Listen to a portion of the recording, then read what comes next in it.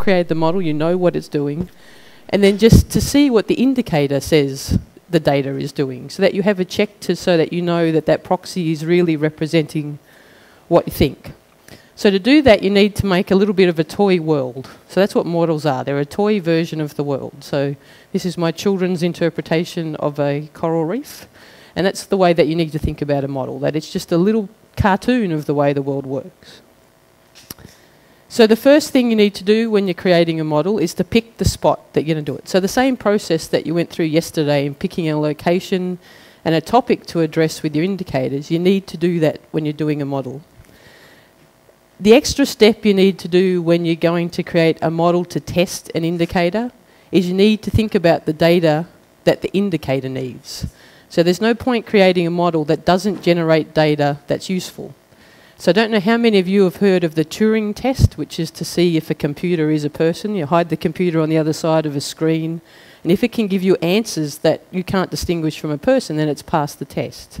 Well, you want a data Turing test. You want a model that generates realistic enough data that it's a good test for that indicator. So when you're creating a model for the marine system, there's quite a long checklist that you can go through about what kind of physical environment there is, what kind of biological processes, what animals that you put into it, uh, all of those kind of things. This is a very biologically focused, oceanographic focused one. This one entry at the end about all the human bits, that can be just as long, if not longer. So when you come, you don't have to have enormous detail in all of these parts, but you do need to have thought through what are the influences that you're going to have to capture in your data to make sure it's realistic. Now, I have three teenagers, two of which I'm trying to teach to drive, so I'm going grey very quickly. One of them is trying to convince, that, convince me he really needs a motorcycle. I think he thinks it's going to finally get him a girlfriend. The issue is that he wants to start not only at this end, he wants to come off this end and have a Harley Davidson. Where being the mother who's a bit of a cheapskate, I'm saying, but you've already got a bicycle. Surely that's enough for getting around where we live.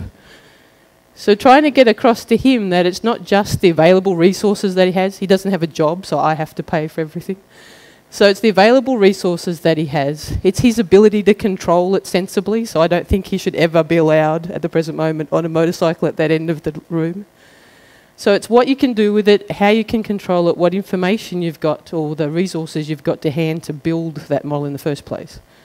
But the one thing to remember is regardless of the competitive nature of humans and regardless of the fights you'll see in the literature about this is the best model, we're not here for a sales pitch models are good. All models are useful tools when used correctly. And having more, the better, because you can see the different ways that they capture different things. So there's no one best model, you just pick what you need for that particular time. There's lots of different model types. So some of the most effective advances have actually come from really simple models. These can be just on pieces of paper to help you think through a problem. Sometimes once you've really sat down and thought about it, you'll see that indicator's ever, never actually going to work, or that process that you think about isn't actually working the way that you thought it did because you'd forgotten some bit. But taking the time to draw the connections and think about what that system looks like can be enough of a mental experiment that you come to understand. From there on out, you can start to build more mathematical models that bring in more and different parts of the system lots of models focus on one little bit in lots of detail, and that might be enough if all of the indicators you're looking about are in that one little bit. So if you're looking at population numbers or size in a fishery where, so let's imagine we've got an abalone fishery where you dive down and you pick up the abalone off the bottom. You don't have any bycatch, there's not a lot of other interactions going on. The fisherman on the boat is kind of the only direct connection. So having a very simple model that's just the abalone population, and the fishermen in that sense might be enough. Rashid will now go jump in and say, no, you need the global market economy as well. But you actually can break down some of these to quite targeted questions. As you get into multi species questions or questions where there's a social influence on behaviour, all of those kind of things, then you start to get into the sort of hairier space where you need more and more of the system just because the data has to reflect and you're the modelling processes have to reflect a lot of those interactions. Okay, so there's also the question of um, what kind of scale to build it at. So I was working on a part of Western Australia, and they were all the different scales that were important to that particular beach in Western Australia. So that's the tricky part of living in the marine world. If you're looking at even just a small part of it, there's about 14 orders of magnitude to the processes that are involved in that part of the marine ecosystem. From the very fine bacterial scale where the nutrient cycling happens, to the basin scale where you've got the big long-term environmental effects. So when I do a, what's called a whole of ecosystem model, where I try to capture the, the physical world, the food web, and then the people that use it, I have to span this range of processes. Now that might sound ridiculous and daunting and uh, but actually if you're a manager, so if you're a man trying to manage or a woman trying to manage a beach in Western Australia, you're already dealing with three or four orders of magnitude and things that you have to, to deal with. You may not consciously know that, but the little mental model you have in your head has to deal with that. So in making a quantitative model to test the indicators to see if we can help that manager, we need to make sure that we span the processes that are influencing the decisions they have to make. Now we hear a lot Every scientist does this. My part is the most important part. It's really complicated and you just don't understand it unless you delve into it. That's fair enough. Everything gets big in detail. So you see quite complicated uh, global climate models that Eric will talk about and plankton models where they talk about how complicated it is, how complex it is. When you get into the world of looking at indicators for the stuff that IMBeR wants to look at, where you're looking at social and ecological and economic together, it's not so much about fine prediction, it's about getting the general what if well. What if the world works like this? So the level of uncertainty you're going from is from an ice cube to an iceberg. Okay, so we hear lots of people arguing about tiny details, which in reality sit in this. And when you start to address the questions that IMBeR has at its heart, you're starting to move up to this. But this is more like living in a science fiction world. That's not to say it's not based on reality, but you're pulling science together to create a story about how the world works. And that's why you can use it as a test bed for these ideas, a test bed for the indicators and the management. And that's because it's interfacing all the different parts of the system. So they're all interconnected, they all drive each other in different ways. So even if you don't include all of these explicit parts in the model that you're thinking about, you have to think about their influence as you build the model in the first place. A key part of it is to represent the uncertainty or the errors that can crop up. So lots of people, when they build a model, think about stochastic processes that might happen in the biology, whether, the ran, whether it was a big recruitment or a little recruitment of fish. Sometimes they recognise that there's some random events that might happen, or seemingly random events in things like stock markets that can drive jostling of prices. They don't recognise the errors that can creep in as you do assessments or you make your management decisions. Most of the uncertainty, so if we think of fisheries, so there's lots of fisheries in the world that have collapsed, for instance, that have like the cod and things like that. It's usually the guy here, the scientist who's doing the assessment that gets all the blame. They say you got your model wrong. What they've neglected to check was the error at every step. So most fisheries in the world have collapsed because of humans didn't do what was expected by the managers. So the really important part that we'll talk about probably tomorrow, but one of the areas you have to think about is the errors that are coming from signals that go back up through the humans. So again, you don't always have to put all of these in your model, but you have to have thought about them and the influence they have on your indicators. And when you're using your indicators in real life and calculating them off real data, you still need to think about those problems. That's something Alida talked about yesterday. What's driving that difference in the ratio which part of the ratio is going up and down. When you've got a catch index, why has it changed? Is it the, the stock that has changed or is it the human use that has changed? So the mental model that you use when you're doing the indicator, you should go through the same process as if you were making a quantitative model so that you can understand the confounding problems that might come along with the indicator. The useful part about testing it in a model is that you can slip in and out different ways that those parts of the world might work so that you can really give it a test to see how robust it is to different sources of, or sources of uncertainty. Then at the other end you can see when it works and when it doesn't.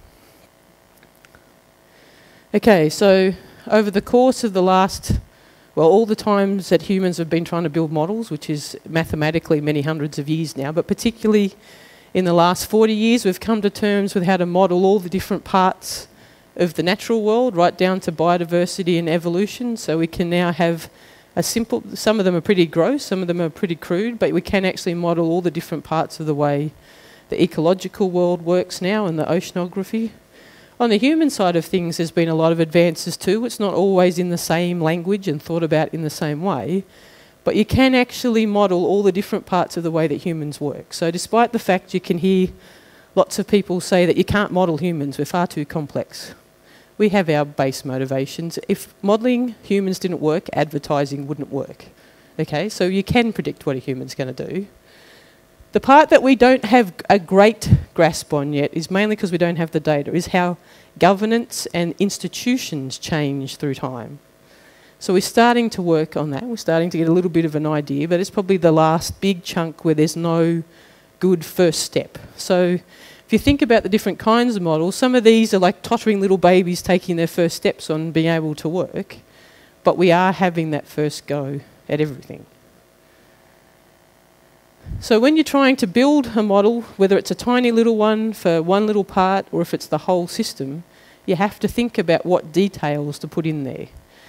In particular, you have to think about where the sources of delay are. So delay, so when there's a pause between an effect, when you do something and having an effect, that's when you get your biggest complexity come in. So that's where your non-linearity comes in.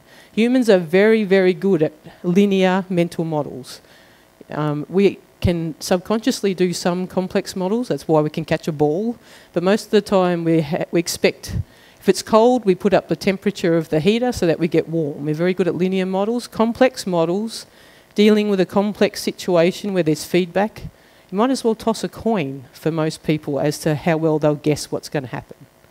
Okay, with training, though, they can get much better. So it's like any skill. If you train someone to think about a complex system, then they get much, much better. They're never perfect, they're far too complicated for that, but they're much, much better. And that's another role that models can have. It can be a training exercise to help people understand when they get the information from an indicator, how to use that to make the best possible decision given all the uncertainties around.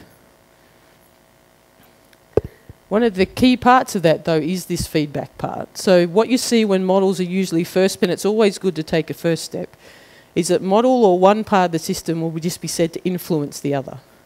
As we get a greater appreciation, we realise we really need to include these feedbacks because this is where the bits that will trip up the indicator and trip up management come in. Okay, so since I started my career a couple of decades ago now, there's been quite a diversity of modelling types arrive, whether they focus on some particular bits or they try to take a crack at the whole system.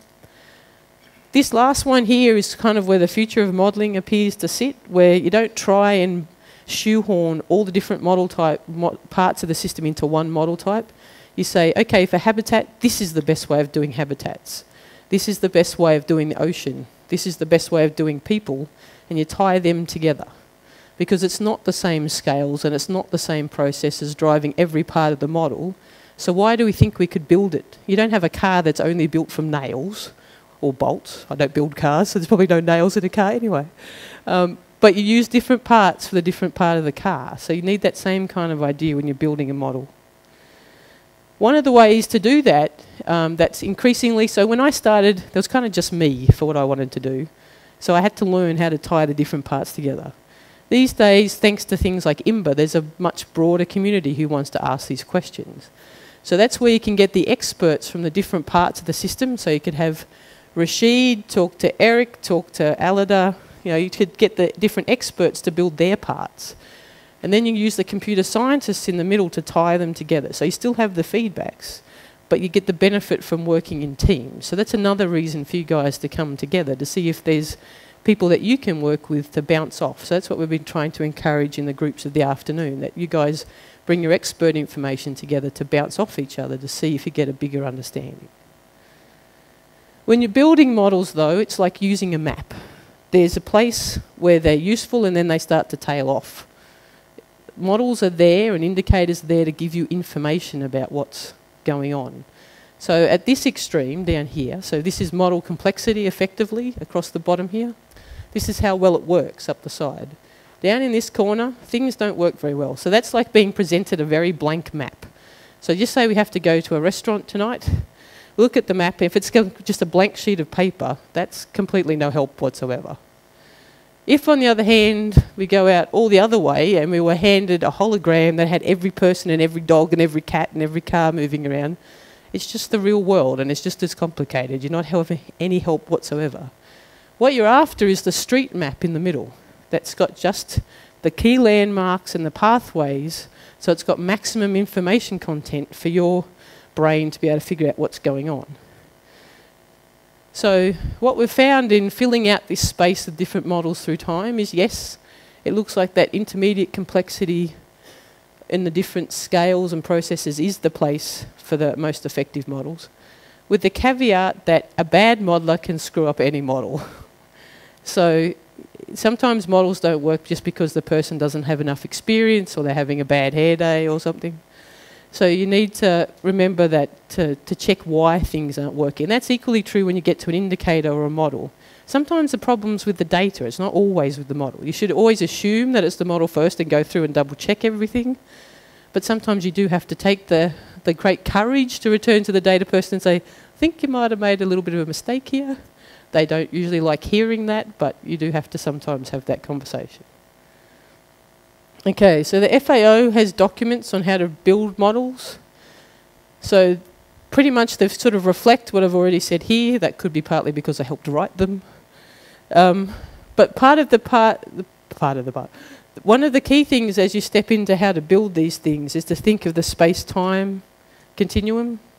I'm a bit of a science fiction fan, so that immediately sends me off to Doctor Who. But what you're really trying to think about is where the core part of the system is. Which the bit you've got to get really well because the indicator or the animal's always there. Then you think about a bit like an onion. What are the layers around that that are influencing that core part? Now, do you need to have them in, or can at some point you say, actually, that's a little bit beyond what I need to think about? So you don't have to have the whole onion, you can take some of the outer layers off. And it comes down to, say, if we're building a model of a marine ecosystem, What's the bottom of the ocean doing? What's the currents doing? Where are the animals? Where are the humans? One of the key problems that we find when we're trying to build these models with a new group. So I had an experience, for instance, in America where we came and I said, well, you need, because of the current system, you need to extend up the coast into Canada. And they go, no, no, we have to stop at the border. I was like, did anyone tell the fish they have to stop at the border? That you need to think about the biological and the human parts of the system. The other thing that I keep saying is you don't always have to have all of the processes in there. So some processes you leave out because they're at scales you don't want to think that are too big. But in going up the other way, there's scales that are too fine for you to want to think about. You don't want to have to model every atom in every animal, even though obviously animals are made up of atoms in the physiological processes. So you can use mathematical tricks to cover what's called a subgrid scale process. So what that means is you can use maths to represent the influence of that process when you're coming up from underneath without having to actually finally resolve that process. So indicators and models both alike, it's about how to proxy a process without having to directly model every different step of it or collect data on every different step of it. So there's different ways of thinking of space, and I'll actually step through an example of what this might look like for an ecosystem in a minute. But when you're putting together data, uh, or you're putting together a model, the easiest way of thinking about space is in a grid. Humans like grids, it's easy to imagine, it's easy to see. Unfortunately, it's not the way the world works. So there's nothing wrong with building a model like that, but you'll find it hard to put data in every single spot. You'll have to guess, because you won't have data. Most of the time, the way that data is collected is they go to the hotspots of action. So there's some quite regular survey grids in places like the Bering Sea in Alaska, but in lots of other places it's like, well, we're not going to monitor the whole empty ocean because we know that the seals only come to this island. So ecology and oceanography and even the data collection is very lumpy. So there's a different way of looking at space is actually to use polygons to put the attention and the fine detail around where there's lots of that action and then just to use bigger places where the action is less, because you can use fairly simple statistical properties to say what's happening with eddies or temperature out here, and concentrate your fine detail where the action is really happening. Uh, another way to do that is actually to nest different scales. And the, re the reason you might want to do this, this is what's called an error map.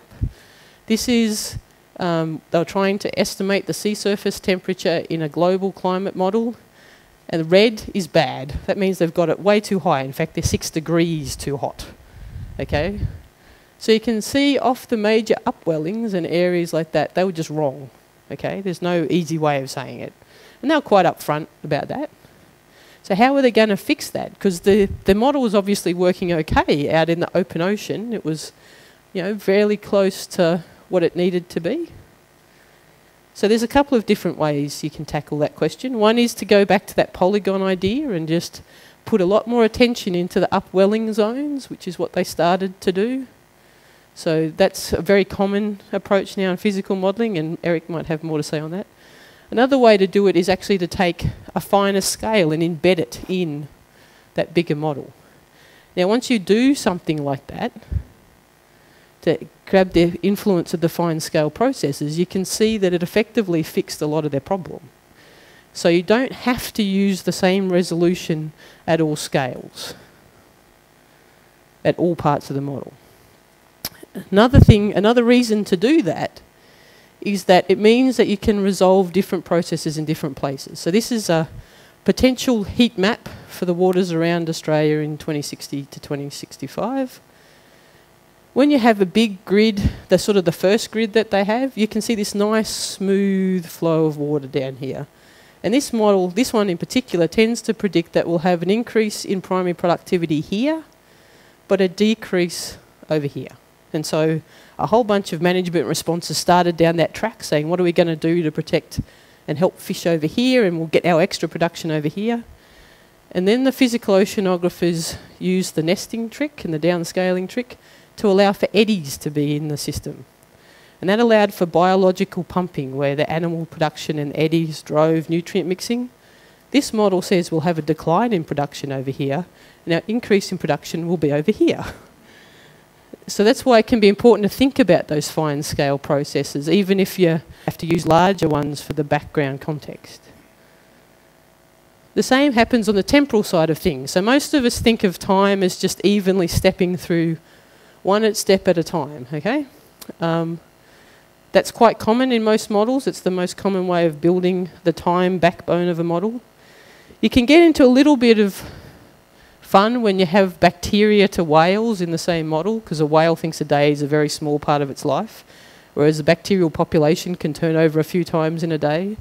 So the way of marrying those is to have your very fast living animals have tiny little time steps that add up to a day or a week or whatever, and have that the next big time step for the slow living animals, so that each animal's kind of experiencing time as a proportion of their life. So they have the big slow steps for the slow responding animals and the fast time steps for the fast animals. It works better mathematically to do it that way. You get less problems with the maths. But it also means that your computers run faster. You don't have to sit there for 12 weeks waiting for everybody to work at a bacterial scale. There is another way of thinking about time, though. So I don't know about you, but I don't watch the clock while I'm asleep. So, for a large chunk of the day, I effectively have one time step. But if I'm trying to jump out of the way of a crazy driver, there's a lot of little time steps that I need to get through fast. Okay? So that's the same process. Fish asleep, fish awake eating, fish running away from predator. You can use that same kind of stepped. It's pretty much the same logic as your computer uses to run. It's not spending the same amount of time on every program that you've got open. So you can use that same computational process that they use in operating systems to run time in models. It's a lot trickier, it's a lot harder to get your head around, but it can again be a, a way of getting lots of different processes that you need into this one model. If they're critical, if you're looking at a I look at a thousand different indicators when I'm testing them in my models. Get all of those different indicators in the one model. I have to use tricks like this to bend space and time so I can fit it all together. You do need a regular heartbeat underneath though, because you don't want your animals to get too much out of sync, but that's a, a different thing to worry about.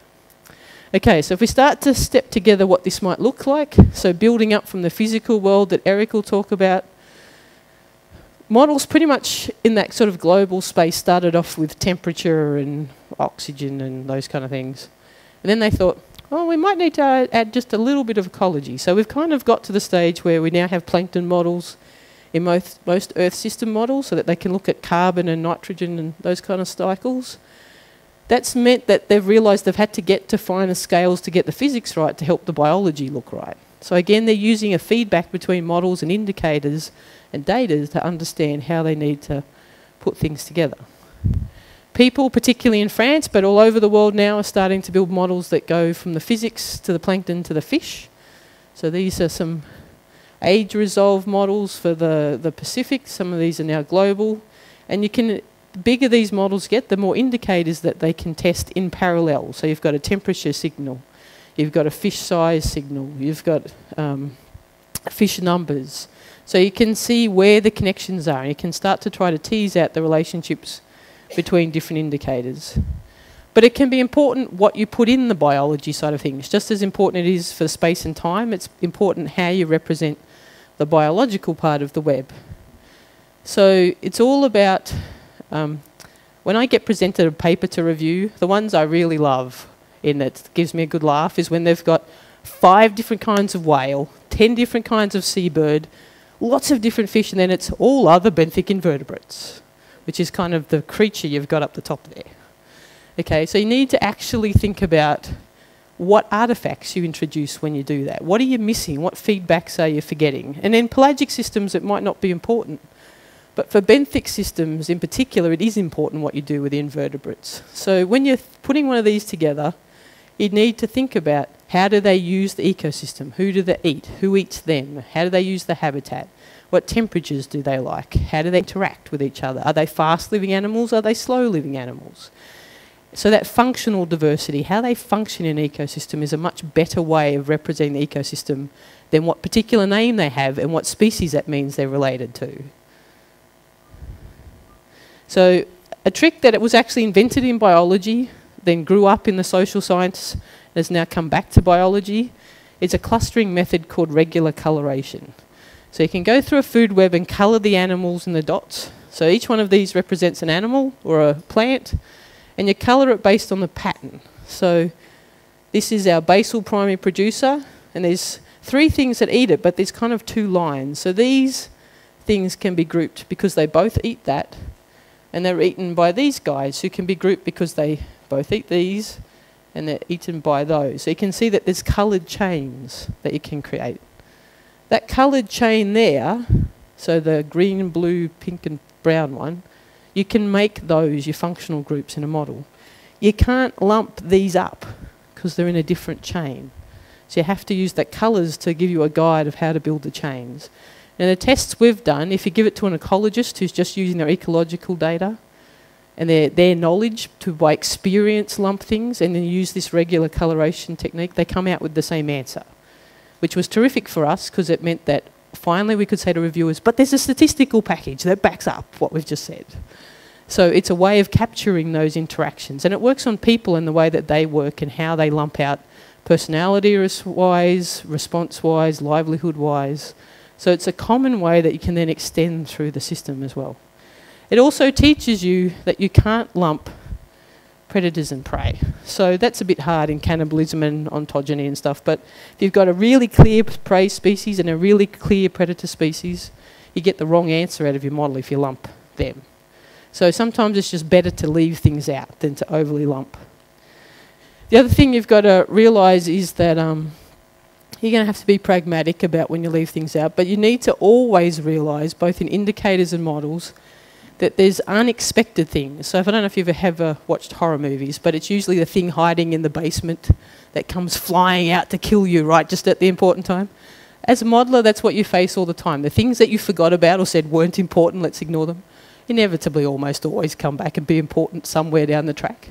The same problem with indicators. A situation or a environmental condition that wasn't important when they were first developed can come out down the track. So the kinds of problems with the aging models that Eric talked about and your proxies, you always have to keep them in mind about what could be undermining your model and your indicator. As you step up through the system, you can start to look at more and more indicators. This is a model from the, the Bering Sea, the, the northern part of the North Pacific. They wanted not only to represent the dynamics of a large part of the ecosystem and the physical world it was embedded in, they wanted to test indicators for the different bits. So because they wanted so many, they have 200, Alida might know this better than me, but I think there's 240 indicators in their real world ecological indicator report that they put up with their stock assessments every year. They wanted to explore at least some of those indicators to see if they were robust or not. So they needed quite a complicated model so they had the right connections between things to do those tests. The other part of it, though, is you have to think a little bit outside the box sometimes. So, a lot of our theory in the marine world is built around the pelagic vision of the world, where big fish eat little fish, which eat littler fish.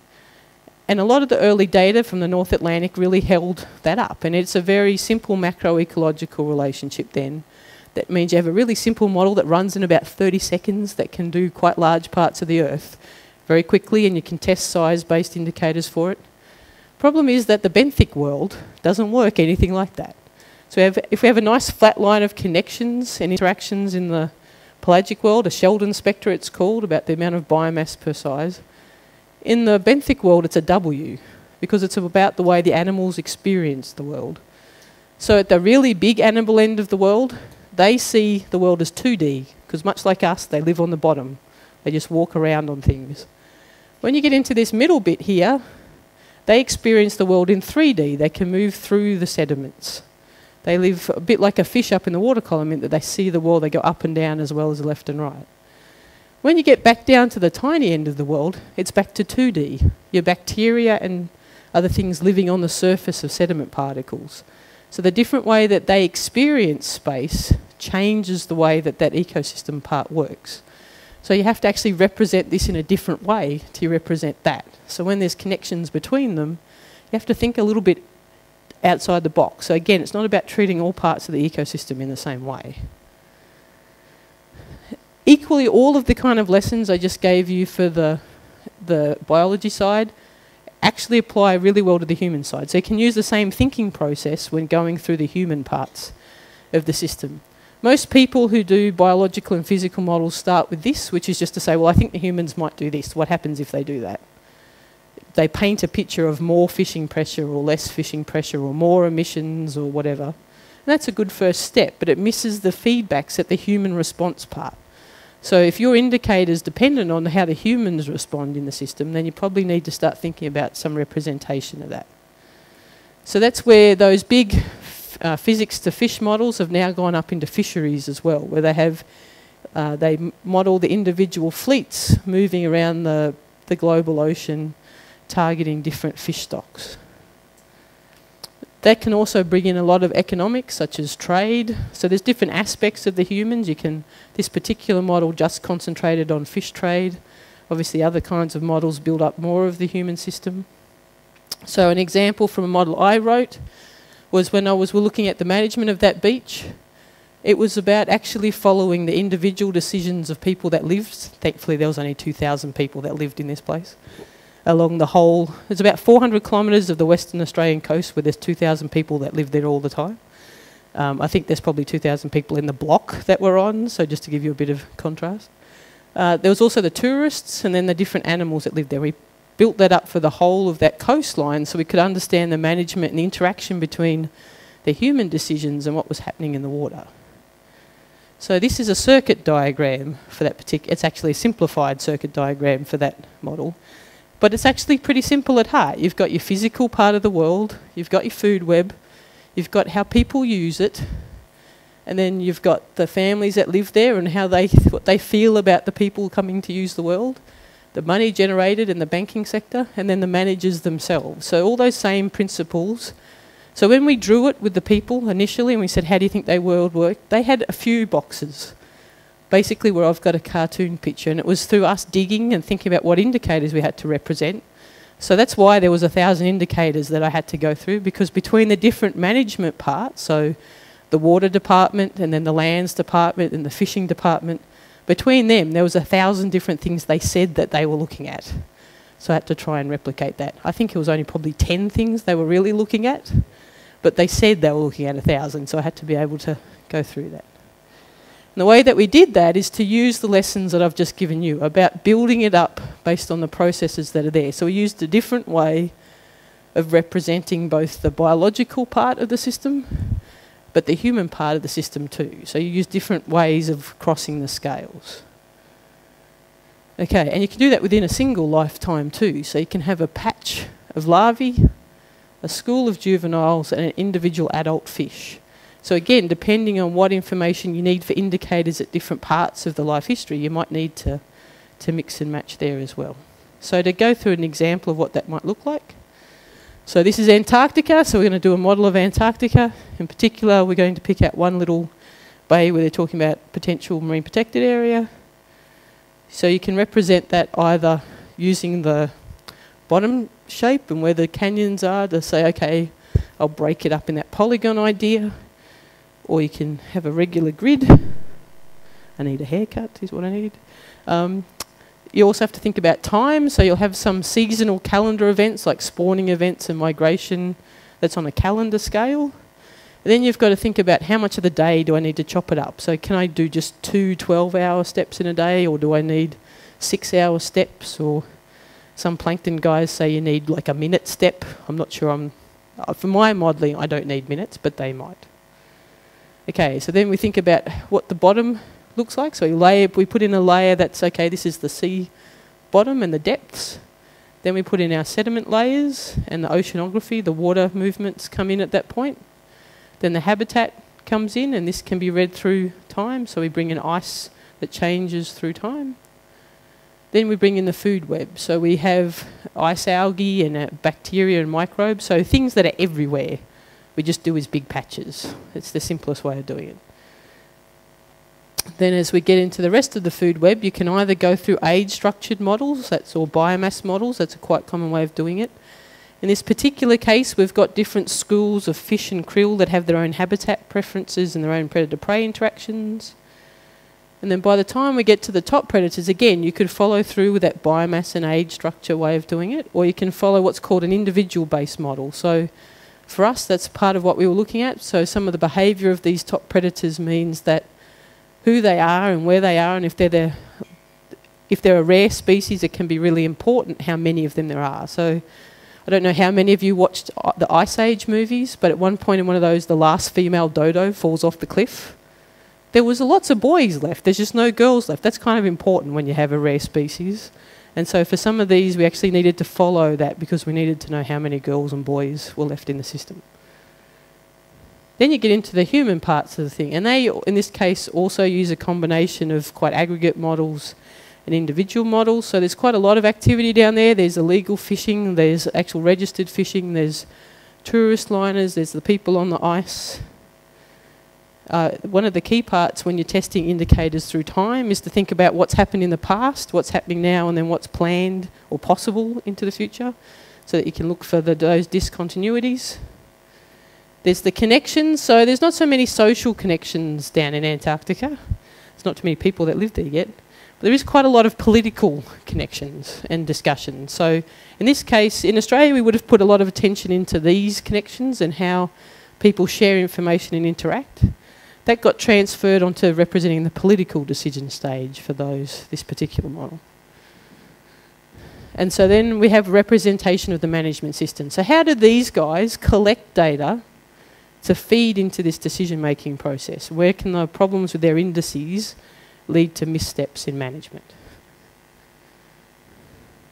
So, on the monitoring side of things, and I'm nearly done now, so you need to plan. The other way that you can use models is to test indicators, right? You can also test um, sampling designs. So, you need to be able to capture that. So, if we a really quick go back over what uh, reference point is. So, we have an indicator, okay? So, this blue area represents the indicator.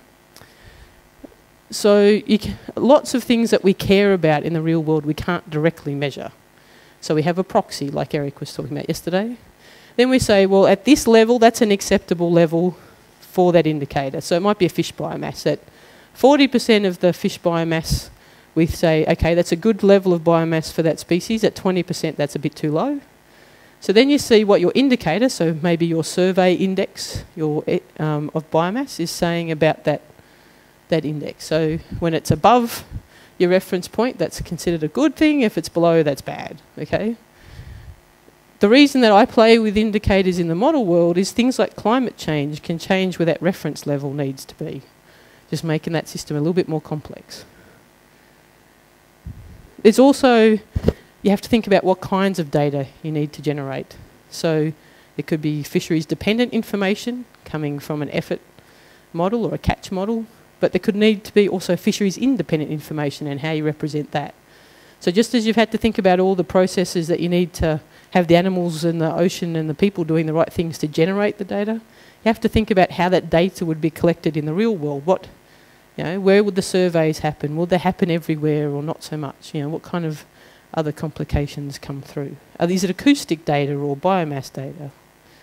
So this is where you get the errors come in. So you need to have a way of representing that error. So you'll have your actual value coming out of your model, then you need to add the error onto it.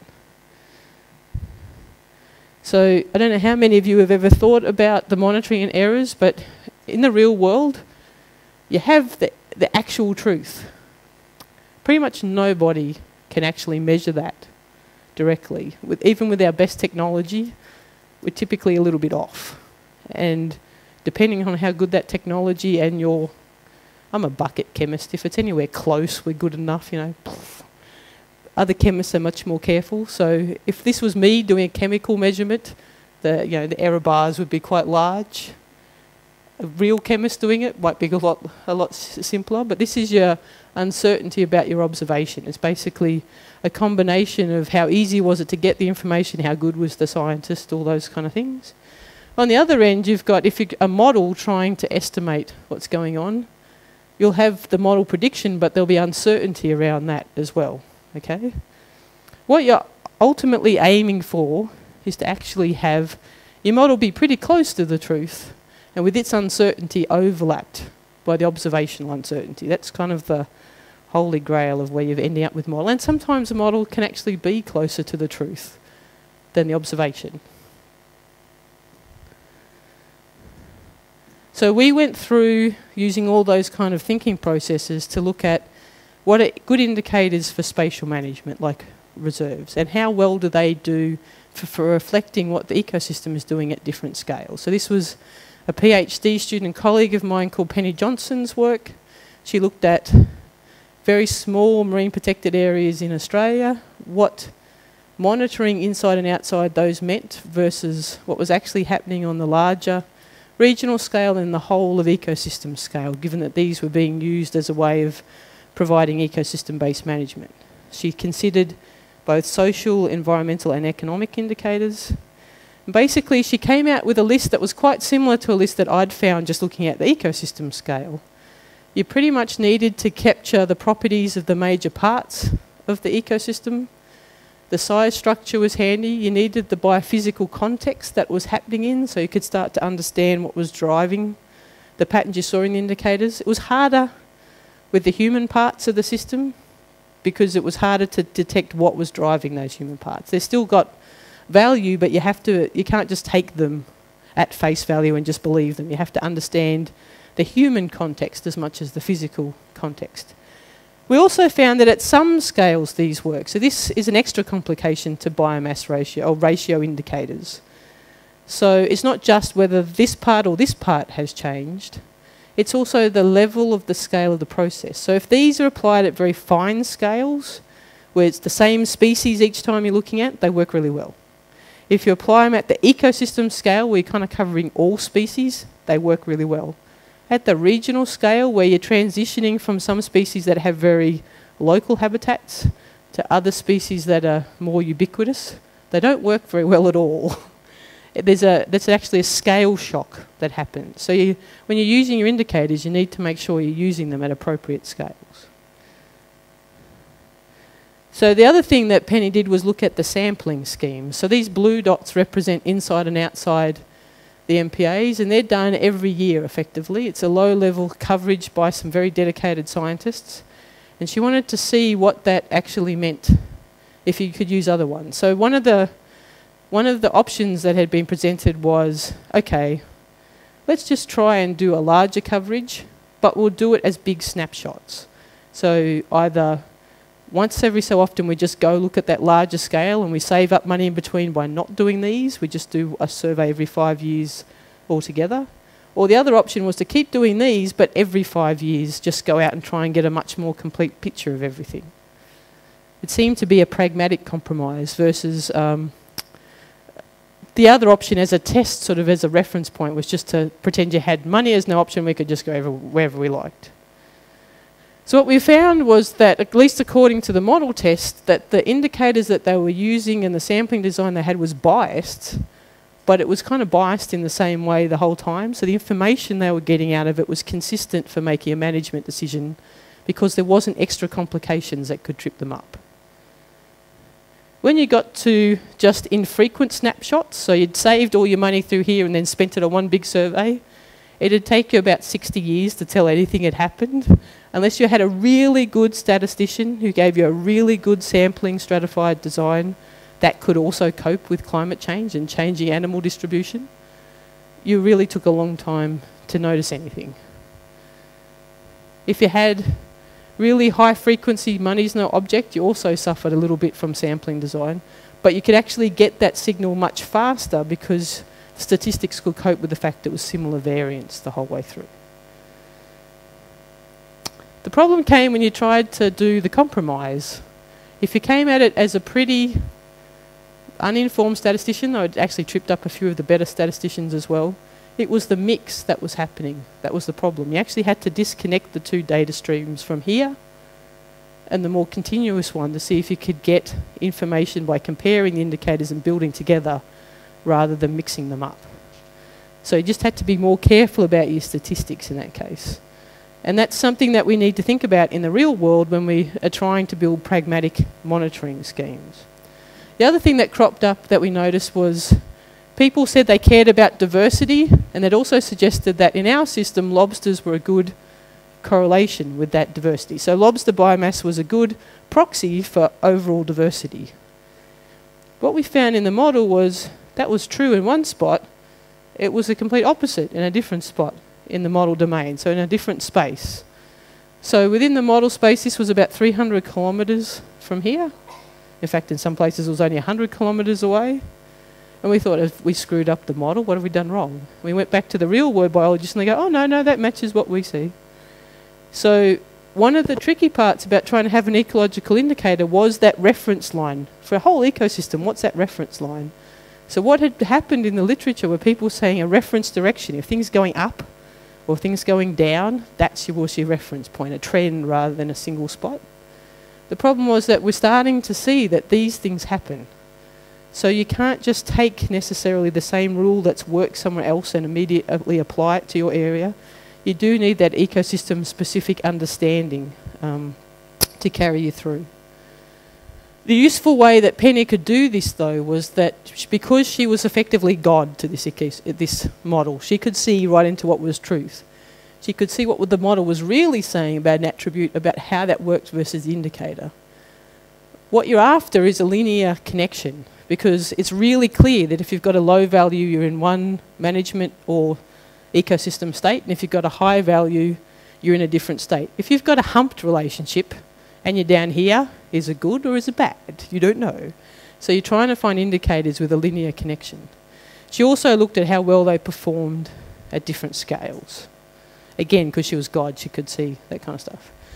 The extra process that you can take in a thing called marine uh, management strategy evaluation is you can put in the whole assessment process. So you can generate that data, you can look at the indicators, and then you can go through the assessment process. And if you're a manager inside that model, look at the feedback that can happen so that you can start to see how robust the system is to the way you're using the indicators. Okay, so this is it now. I'll stop boring you all to death, but basically, You've got to think about, even if you don't explicitly include in your model all of those details about how the system works, you have to have thought about it because every time you decide to put something in the model, you've explicitly decided to not put in everything else. Okay? So you need to have really thought through those processes. You need to keep in mind that there's always going to be something that you've forgotten that will be important somewhere. You need to allow for this model to have different states it can get to. So hard wiring an answer is not very useful. You need to have the feedback so you can get different outcomes. Most of all, when you're testing an indicator, you have to make sure that the data it generates is realistic enough that it's actually going to be a good test for the indicator. Uh, so there are some rules of best practice. The most part of it is just play. Imagine that you're using mathematical Lego or whatever you want to call it. You're just playing with the world and a version of the world. Don't ever get scared. Most people say, I'm not a modeler, but you are actually. Anything that's alive is a modeler.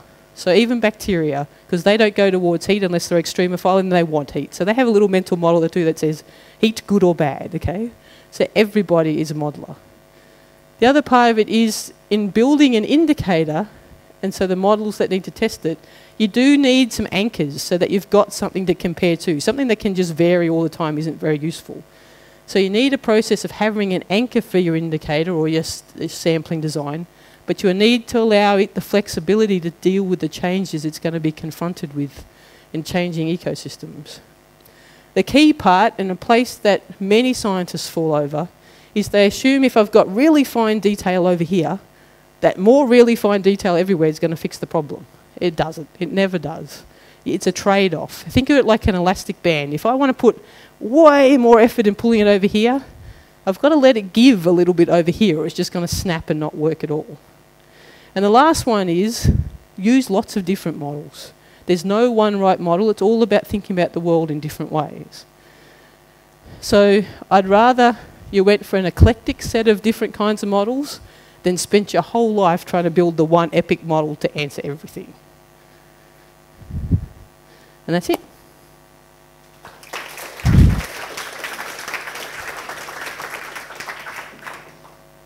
So there's not too many people asleep for the next person. So have you got any questions, anyone? Yep.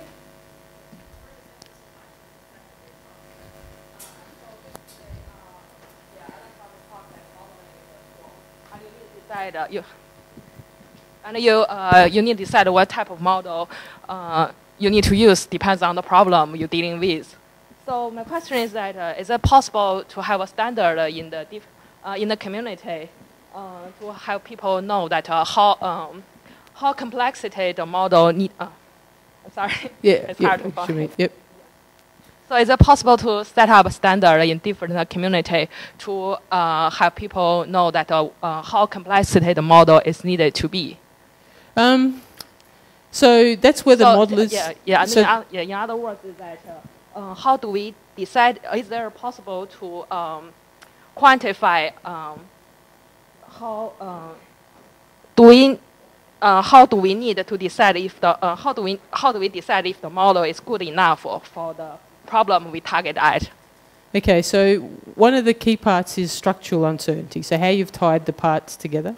So there's no existing. This is probably where the modelers have got too caught up in their playing with models and forgotten to write it all up. Well, I would be victim of that. Um, we don't have uh, like a recipe book that you can go to and say you definitely need these bits in this case. The test that I do is that I build, I build it a bit of a time basically. So I think this is what the minimum that I need to represent the world. If I put in one extra bit, does it get a bit better or has it actually got worse? So at the present moment for me, it's a little bit of, we call it suck it and see in Australia. Did it work? Did it not work? So there's no formal mathematical way. I mean, you could maybe use cluster analysis and stuff. There's a process called, um, well, the regular coloration and the qualitative modelling. Between those, you can get an idea of useful structures, and it's very simple and very fast mathematics you can do in a single afternoon. That can give you an idea of where to start as the anchor point, but then it's still, it's very much almost like an art, that's, which isn't very satisfying to say to the science world, I know, but there is no recipe book. So the best thing to do is try and find someone who's an experienced modeler that you can bounce ideas off. So you can say, what would you do in this situation? Do you think I've got close enough? But just play, try different options and see if you get a better answer. Keith's actually been modelling a long time, much longer than me, so ask him. Thank you. Uh, so I, Yeah, uh, I think it's an excellent question, but there are two parts to, I think, what was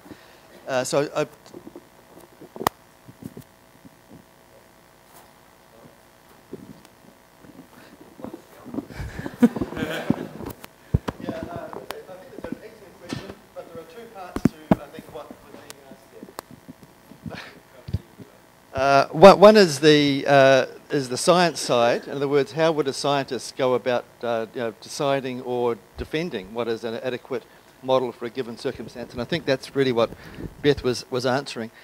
But the other broader issue is how does how can we as scientists convince uh, the general population or a politician that actually this is uh, uh, this is okay, this is actually uh, uh, sufficient for the for the purpose. So that's a slightly different question, and uh, there's no there's no answer to that one either. But what I would like to suggest is that you know for the group here, that is a topic really worth putting some thought into. I mean, other, other disciplines like engineers, for example, have got standards for what is acceptable for certain tasks.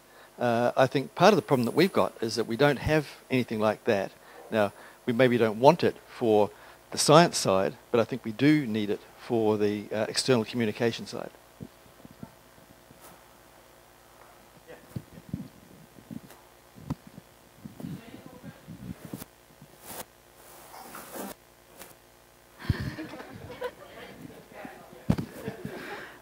Um, okay. Uh, well, I can speak very loud.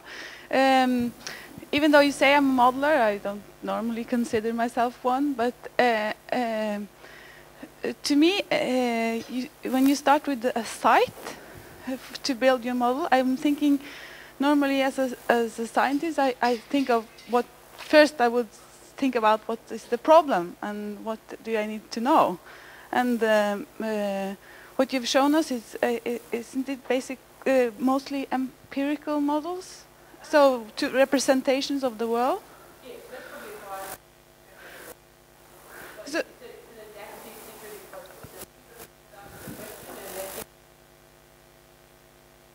yeah, yeah, yeah. It's, um, uh, um, except from the conceptual model showed, uh, there are also theoretical models, and uh, one might start also with that most, mostly probably more narrower scale, probably.